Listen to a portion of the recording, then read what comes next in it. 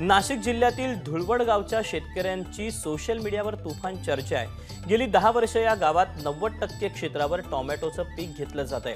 भाव न मिळाल्यानं अनेक वर्ष शेतकऱ्यांचं कंबरडं या पिकानं मोडलं.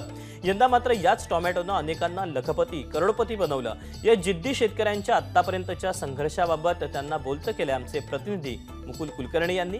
पाहूया.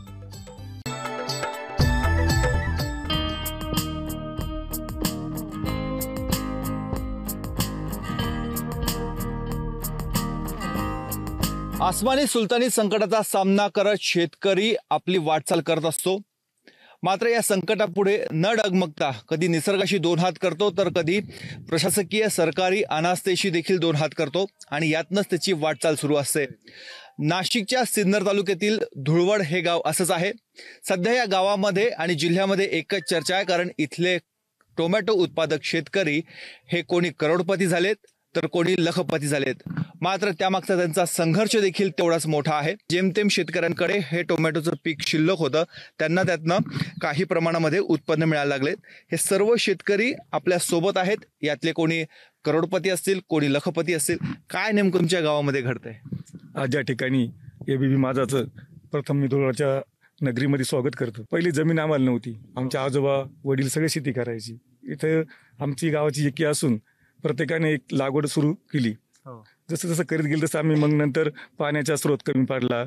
नंतर पैसे नव्हते पण थोडं थोडं आम्ही करून असं आज या ठिकाणी समृद्ध गाव झाले. हो. सगळे पाण्याच्या बाजू सक्षम झाले तळे केले. हो. आणि आज गेल्या सालीच आमचं लाखो रुपये करोड रुपये आम्ही शेतात टाकले होते. हो. ते आमच्याकडून हिसकावून घेतले होते निसर्गाने. पण या ठिकाणी काळ्या आईने धक्का देत नाही असं मी म्हणतो. ते आईवर प्रेम करा माईवर प्रेम करा काळ्या आईवर प्रेम करा. निश्चित तुम्हाला यश देईन यात मी संदेश देतो. आणि एकदा परत ती माझं मी सरचे स्वागत करतो.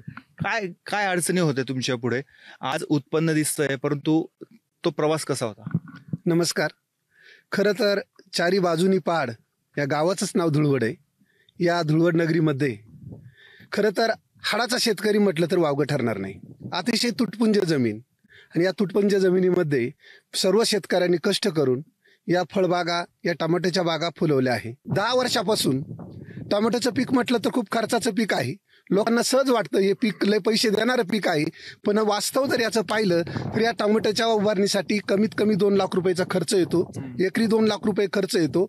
हा खर्च करताना शेतकऱ्याकडे कुणाकडे पैसे नसतात. तो शेतकरी कुठंतरी कर्जाऊ घेतो. कर्जाऊ घेतल्यानंतर त्याचं ज्यावेळेस देण्याची वेळ येते कदाचित बाजारभाव मिळाले नाही तर तो हताश होतो दुर्बल होतो. त्यावेळेस मात्र त्याच्या खिशात एक रुपया नसतो. तरी कुणाचं तरी घेतलेलं त्याला द्यावंच लागतं. आणि कदाचित तो आणखी कर्जाच्या खाईमध्ये लोटला जातो. परंतु यावर्षी मात्र मी एक सांगतो अतिशय असे हे भाव म्हटल्यानंतर डायरेक्ट पाच पटीचे भाव मिळाले. म्हणून कदाचित लोकांना हे पैसे दिसतात. पण वास्तविक मी एवढंच सांगेल की अजूनही या पाच वर्षाच्या पाठीमागचा जर इतिहास जर पाहिला तर आताशी कुठंतरी हे लोक प्रगतीपथावरती आलेले आहे. यातून मी एवढंच सांगतो सगळ्यांचं बरं झालेलं आहे पण लोकपती करोडपती कुणी झालेलं नाहीये. जो टोमॅटो शेतकऱ्यांना रस्त्यावर फेकण्याची वेळ आली होती पन्नास पैशापर्यंत त्याचे भाव गेलेले होते. त्याच टोमॅटोने यांना सर्वांना तारलेला आहे. कोणी म्हणते आम्ही आजपर्यंतचा सातबार आमचा कधीच नील नव्हता तो आज नील झालाय. तुमच्या गावातलं एक होर्डिंग देखील लावण्यात आलेलं होतं. सोशल मीडियावर देखील खूप चर्चा आहे. काय म्हणायचं तुम्हाला त्याबद्दल? ते होल्डिंग आम्हाला ते काही पचन नाही पडलं आमच्या. का बरं का बरं? कारण का ते होल्डिंग म्हणजे आम्ही आमच्याकडे लाखो रुपये अं, बाकीच्या देणदाऱ्या होत्या. झाले महत्त्वाचे पण एक तर आमच्या आजूबाजूला एक तर दुष्काळी परिस्थिती. अजून आजूबाजूला काही उत्पन्न नाही. तर ते मनाला आम्हाला जरी पैसे झाले पण ते शेतकरी अजून त्यांना काय होईल नाही. आम्ही ते- त्याच्यामुळे आम्ही दुःख आहे- दुःखी आहे. मागच्या वर्षी अशी परिस्थिती झाली की खर्च इतका होता. जवळपास एकरी खर्च दोन लाखाच्या आसपास खर्च येतो. मग कोणचे दहा एकर प्लॉट आहे कोणाचे पंधरा एकर प्लॉट आहे कोणाचे पाच एकर आहे कोणाचे चार एकर आहे. मग त्याप्रमाणे त्याचा खर्च सुद्धा आहे. मागच्या वर्षी शंभर टक्के लॉस झाला. जवळपास पूर्ण सडून गेलं पाणी जास्त झाला होता. या वर्षी निसर्गाची सुद्धा कृपा चांगली झाली. पाऊस पडला नाही आतापर्यंत. थोडासाच पडला जेवढं गरज होती तेवढाच पडला. त्याच्यामुळं पिकं चांगली आली. मग जे पिकं वाचले त्याला मार्केटला रेट सुद्धा दोन हजारापर्यंत हजारापासून सुरुवात झाली होती. तर आज एकवीसशे बावीसशे पर्यंत शेवट रेट भेटले. सरासरी आपल्याला पंधराशे सतराशे अशी भेटली. तर साधारण एका शेतकऱ्याकडे पाच हजार कॅरेट कोणाकडे दहा हजार कॅरेट कोणाकडे अकरा हजार पंधरा हजार असे कॅरेट निघाले. मग तसं उत्पन्न निघालं त्या पटीमध्ये त्या- त्याचं इन्कम आहे. पण ज्या पटीत इन्कम आहे त्या पटीत त्या शेतकऱ्यांचा खर्च सुद्धा राहतो. जे लोकांची जी अफवा आहे कोणी कोट्याधीत झालंय लक्षाधीत झालंय झाले पैसे नाही असं नाही. पण त्याच्या मागं व्याप त्याच्या मागं कष्ट त्याच्या मागचे खर्च आमचे कर्ज या सगळ्या गोष्टी मिळून फक्त एक समाधान झालं का आम्ही नील झालो.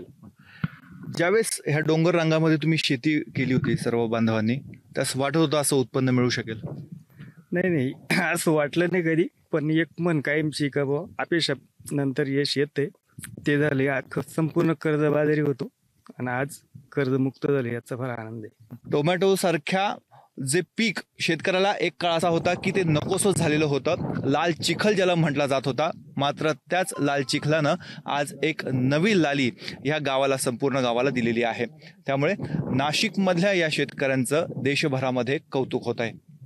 कॅमेरामन किरण कटारेसह मुकुल कुलकर्णी एबीपी माझा धुळवड सिन्नर. एबीपी माझा. उघडा डोळे बघा नीट.